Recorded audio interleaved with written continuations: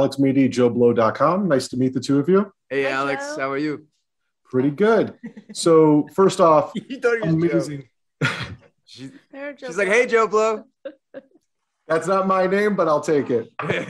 Um, so, ph- phenomenal season. Absolutely amazing journey from beginning to end. Um, was this an emotionally challenging season to put together more so than the other seasons just because you knew that this was the final season?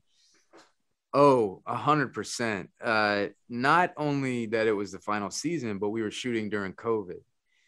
And so you have the emotion of, hey, this might be the last time we get to do this. And we've spent almost eight years together at this point. We're all super close. It's like a family atmosphere. The same 90% of the same crew that we started on episode one is still with us. So there was that feeling of of one of my favorite things about the season is the, the amount of time we get to spend together and hang out together and rehearse and, and have this creative environment. Well, now you have the last season and you really want to spend time with each other, but COVID just eliminated that. So you're in these little bubbles and you're shooting and, and you have all these precautions and to keep you separate and you just want to be with everybody. So there was it was challenging on a lot of different levels.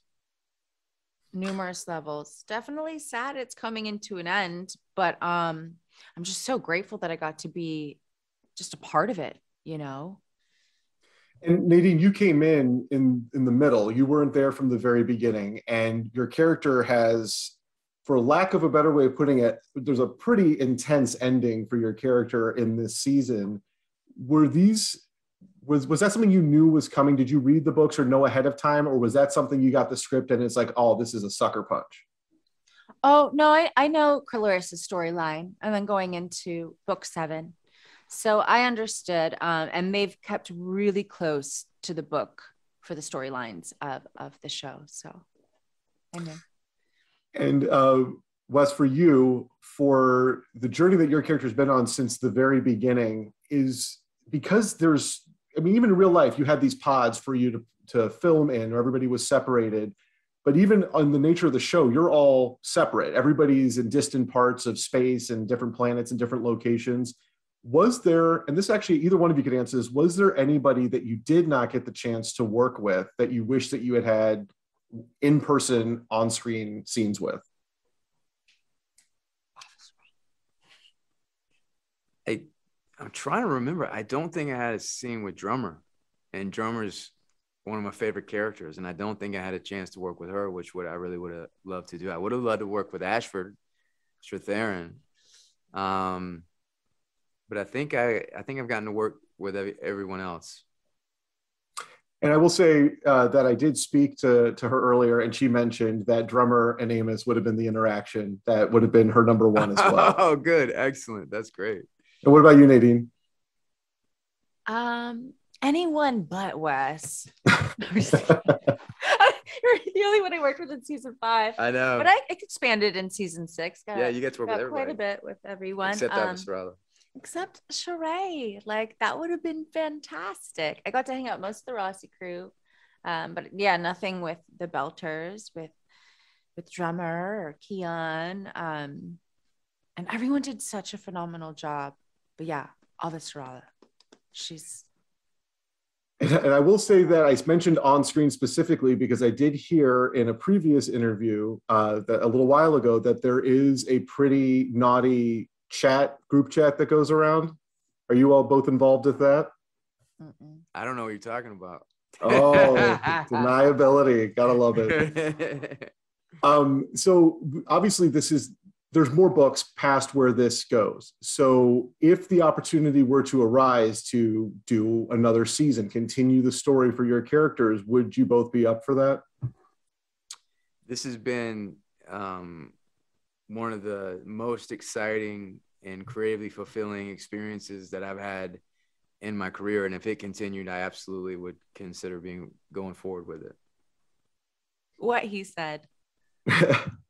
um, what's what is the hardest part about doing a show like this? I mean, from our side, watching it, the finished product on screen, there's obviously tons and tons of people involved making this look as realistic as possible. But behind the scenes, when you're actually filming it, what's the hardest thing about making a show like this? For me, uh, there's something about those spacesuits, especially the Canterbury suits. Uh, the only day, the only time ever working on the expanse when I wake up and I read the call sheet for the day and I see in spacesuits. That's the only thing I'm like, ugh, because uh, they can't because they you know after a while those spacesuits they but you know what it really works with the scenes and the characters because you really you really are sweating that much and you really are um, uh, annoyed by those suits it's given me such a huge appreciation for anyone in spacesuits in movies and TV now. I'm like, oh, God bless you. I don't know how you're doing. Like, it is, you don't think about these things when you're watching TV or movies. You see it and you're like, oh, that's really cool. Matt Damon's floating in space. But you don't really think what goes into wearing a spacesuit. And it is, it is like, yeah, you can have meltdowns, sauna. claustrophobic sauna. It's like you don't understand it until you're in it yeah. Is there so there's a fan that's blowing at you to keep the the mask from mm-hmm. fogging up? Yeah. I mean, is is it heavy? Is there a weight to those suits that just makes it cumbersome to wear at all? It's not backpacks. For me, I don't. It's not really heavy. It's it's made out of a seven ply wetsuit, and then and so everything is sealed off, and that and then that you're locked into that helmet, and it's just the sauna aspect of it. You know, just the heat in there, and then you know, it, it, doing stunts and running and climbing and doing things or whatever. And then over time, as you're shooting for a whole season, it just starts to, you just start like, I don't, I don't want to put this. You have to on. be pounding water because you are sweating the entire time. Like you get a break and we'll come out and we'll take those suits down halfway. And then you're just like, wet, like you jumped in a pool. And, so and it's zero below outside. so, oh man. so you're walking out and it's like freezing. But I will say, um, we're probably all healthy from getting all that. Oh yeah, time. it was great. I liked it. Yeah, yeah, but you have to drink lots of water. Uh, Nadine, for you, this your character has uh, you're like put through the emotional ringer on this show. Like your character does not have an easy time of it where where do you draw that from to to play that because it just feels like it would be devastating as soon as you stop rolling to just having gone through all that how do you get through playing a character that has all this stuff that they have to go through yeah clarissa is more of like the the personal humanized drama right it's more like on a personal level it's not this mm-hmm. huge epic social political thing um, but as an actor, I mean, you're pulling from all these different associations and resources. Uh, but the basic need to be loved by your parents, like we can all relate to that in different ways, and the ways that that shows up in our lives and our behaviors and our adult relationships. We all have some things to work on in those areas. And so, I mean, though as Nadine, those things are kind of easy for me to look at and Clarissa and be like, oh, I understand that darkness. Oh, I I understand where she's coming from. Not that I would ever be moved to the level that Clarissa was for her desperation. Um, but I yeah, I think it's as an actor, you're always you have to be open and willing to go to to understand and dive and and feel those places and that's that's what we're we're trained and paid to do so well, a lot of people will dismiss shows off the bat if it's a genre. Some people say, "Oh, it's a horror movie. I don't watch horror movies," or "It's a romantic comedy. I don't watch those." This is something that, if you watch the trailer, you hear anything about it, people describe it as science fiction, and a lot of people will probably not give it a chance because it is science fiction. What would you say to those people that they're what are they missing out on in this show? Because it is more than just sci-fi. Well, I mean, look, whatever whatever they like you you know you would say why do you like the things that you like and it's probably has to do with the humanity of the characters and how the characters change throughout the story and where they feel like they're learning something and they get a sense of catharsis from going through what that character goes through. And that is the core of any good story. And so the genre is really just scaffolding on the foundation of that. And so, what I think the expanse strength is, is the humanity and the story of these people uh, really going through and and suffering and loving and and and changing and experiencing things and how that changes them and they gain wisdom. And so um, the reality is that the expanse is a great story firing on all cylinders with the sci-fi genre on top of it. And so if they like story which they do of any kind those are the things that they have in common. And I, I think that the the journey that these characters have all gone on from season one to season six, it's never been just one thing. It's never been that, oh, we're just going to make an action story or we're just going to do a political drama. It's encompassed all of those genres. Like you said, it's all there. It just happens to be set in the future with a lot of things in space. Um, on the scenes that a lot of you have where you're within these ships, these, these vehicles, and you're in space, you've got to spout a lot of technological jargon. You've got to say things that are either based in, in real science or engineering, or you're saying something that's completely made up. Some characters have to say it in a unique accent. How do you keep these characters grounded when you know you're saying something that potentially could be just complete nonsense to somebody?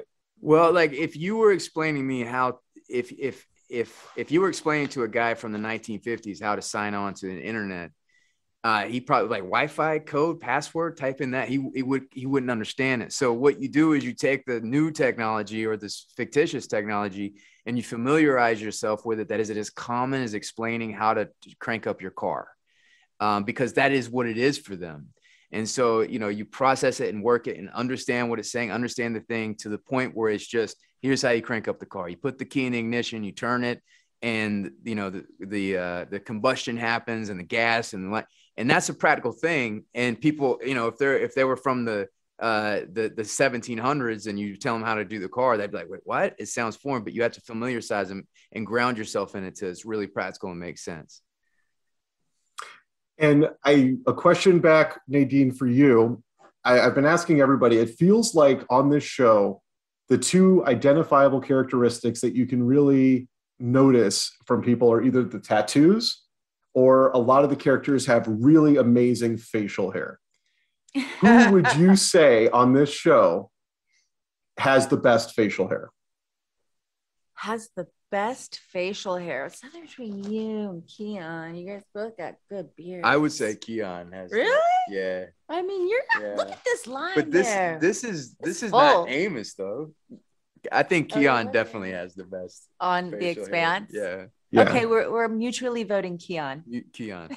I told him I told him that he does he has the best facial hair. It's a character unto itself. Um, and he he went on quite a while about how he had so much investment in making his character have that that facial hair. Um, but yeah, it's it's the phenomenal show. You're both great on it. It was a pleasure talking to you, and I hope everybody really gets to see this journey come to an end. Thank you Thank so you. much. Thank you. Nice meeting you. You too. Bye.